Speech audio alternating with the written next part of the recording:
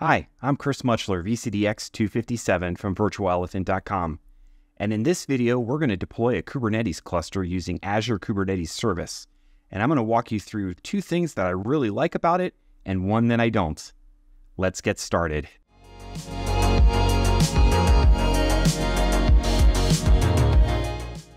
So in this video, I'm going to walk you through the basic steps needed to be able to deploy a Kubernetes cluster inside of Azure Kubernetes Service or AKS. So you can see here on the screen that I've already logged into my Azure portal. The first thing that we need to do is actually go to subscriptions. If it's on your top toolbar, go ahead and find it. Otherwise, you can search for it in the search bar. Click on your subscription and then scroll down here to resource providers. Now, there's a couple of these resource providers that are not going to be enabled by default that you need to register uh, using the UI here so that you can actually deploy an AKS cluster. So the first thing that you want to find is the Microsoft.operational insights.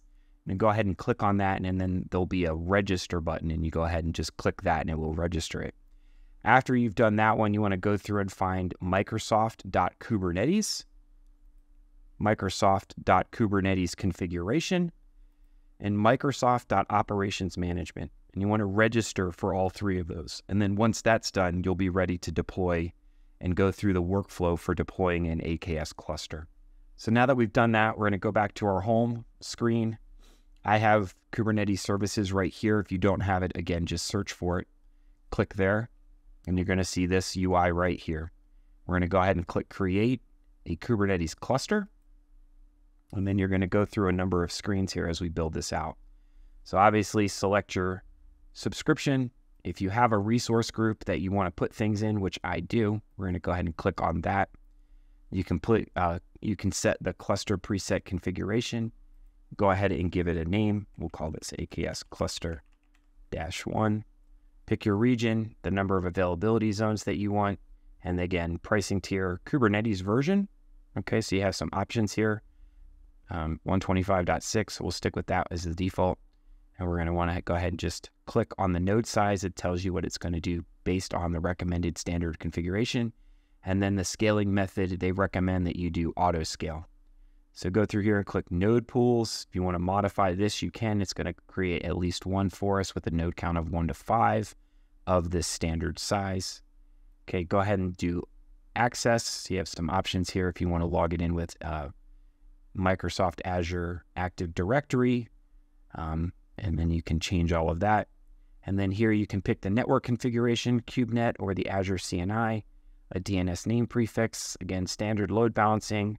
And then you have some other options here if you want to play with it. We're going to leave everything with the defaults right now as we go through this. And then you have some options for integrations. So if you have a container registry, a Harbor a service running somewhere, you can register it there.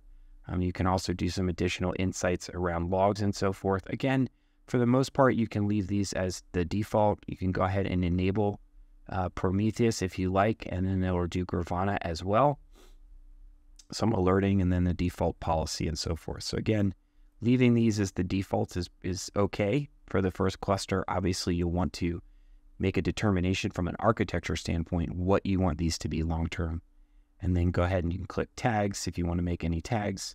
And then you can go through and review and create now, the interesting thing here is it's going to review our final validation or final configuration for us and perform a validation check.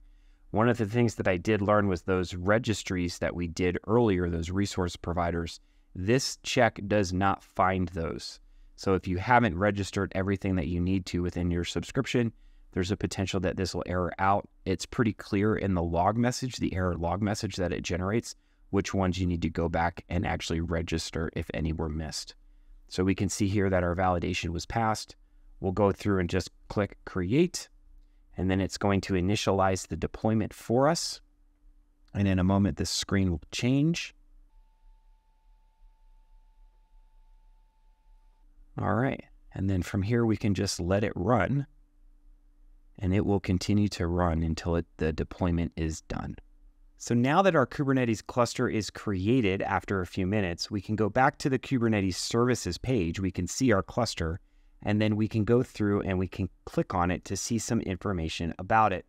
Now, this is the first thing that I really love about AKS is that everything is built into the UI. So, as a new user or someone who is new to Kubernetes, I can go to this one centralized location to be able to see all of the information that I might need to be able to have for my Kubernetes cluster and understand what is running inside of it.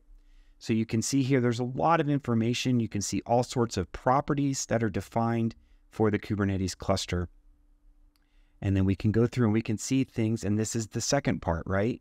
As we go to look at the Kubernetes resources themselves, we can see what namespaces are created. You can see additional namespaces that you have created as part of the cluster. So you can see that I've already created a sample app that is inside of there. You can see workloads that are running inside of that. Okay, you can select all namespaces. You can select the specific one. So for like myself, you can see the, there's not a deployment, but there is a pod. And you can see those pods are running because those pods are deployed by a stateful set. All right, so all of this is right here in the UI for you. You can also see storage that has been created persistent volumes, and the available storage classes that you have. Okay, in addition to being able to do things like scaling up the node pools. So you'll see here that you have an agent pool, that's the nodes essentially running inside of AKS, and you can click on that to be able to scale it up within the bounds that you set within your account.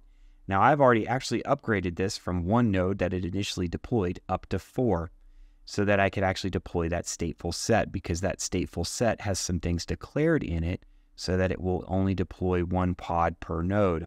So I've gone ahead and already done some of these things and we can go back here and we can click on overview. Now, the second thing that I really like about AKS when you initially deploy the cluster is how do you connect to it? What's the easiest way to get into this thing to be able to start doing things with it?